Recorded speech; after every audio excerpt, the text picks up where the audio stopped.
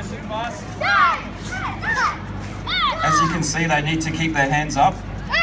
Kicks are coming everywhere. Can we just get a black belt there? Five seconds!